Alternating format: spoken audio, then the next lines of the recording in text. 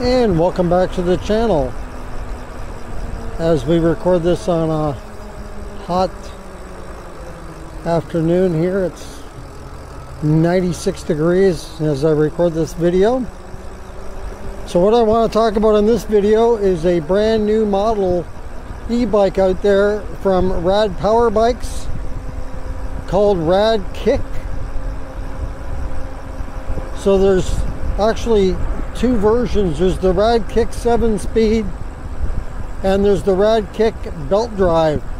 The 7 speed is $11.99 and the belt drive is $13.99 but on this video I want to talk about the 7 speed since it's the lesser price of the two bikes and might be because of that the one that more people tend to go with. So let's talk about that since it's the lesser price and we're um, we're on this in this case we're talking about a budget priced bike so let's go with the 1199 7 speed so let me tell you a little bit about what it has to offer so this bike first off is not going to be one that's going to win any races win any hill climb uh, contests or anything like that this bike is more of a little more than a traditional bike. It, it adds some power, but it's not a lot of power. So basically what I'm trying to say is it's only a 36 volt bike.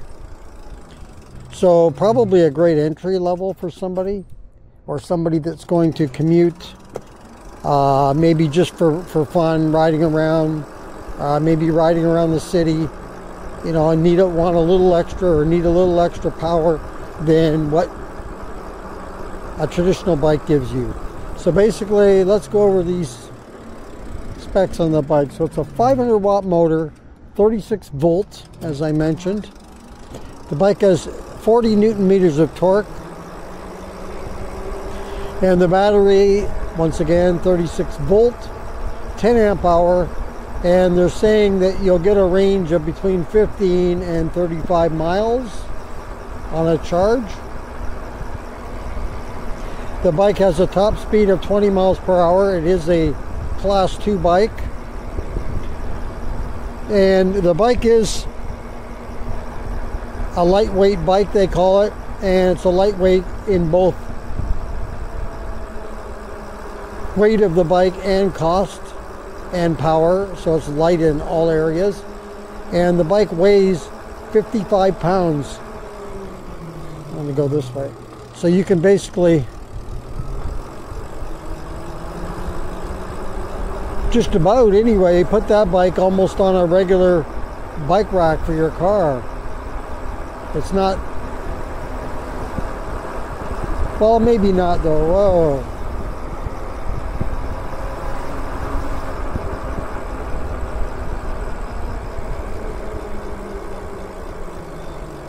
So it does come with a half twist throttle.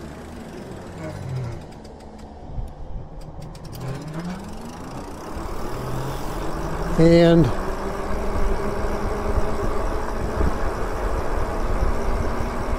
it is a step through. There's only one color. I believe the color they call it Arctic Blue. It's really a nice looking bike. And uh,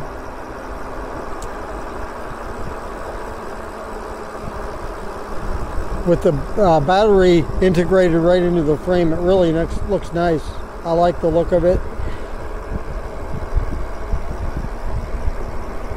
so the tires let's talk about the tires. So these tires are 27 and a half inches by 2.25 inches wide. So these are uh, pretty good sized tires. They're not the widest in the world but I think that's going to make for that bike being nice and nimble, um, easy to handle. So the bike weighs 55 pounds, as I mentioned, has a payload capacity of 300 pounds. It says it'll handle a rider up to 275 pounds, so um, that's quite a bit. It does have a rear rack, and it does have rear uh, uh and front fenders. The rack, I should mention, uh, has a weight capacity of 55 pounds, the same weight as the bike which is kind of funny. It does have five assist, uh, pedal assist levels and seven speed. It does also have hydraulic disc brakes, which is really good. Most bikes these days are coming with hydraulic brakes, which is good to see. And it does have 180 millimeter rotors, which is good. Uh, what else can I tell you about this bike? So the shipping. So it does ship for free if you're in all of the U.S. states except for Alaska and Hawaii. You might want to check. I think you're going to have to pay. I don't know what the shipping cost is for that, but uh, you can check their website. I will leave a link in the description.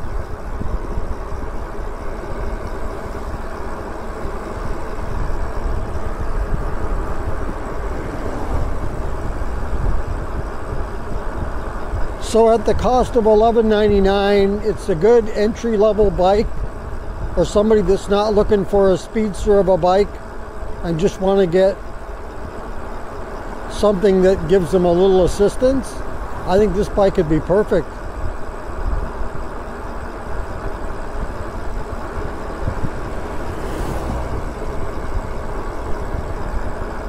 So it's $1,199. They are taking pre-orders right now. The bike is estimated to ship on September the 4th, so that's about four weeks from the time I uh, record this video. So check it out. It's the Rad Kick 7-speed electric lightweight bike from Rad Power Bikes. Hey, if you like this video, go ahead and hit the like button.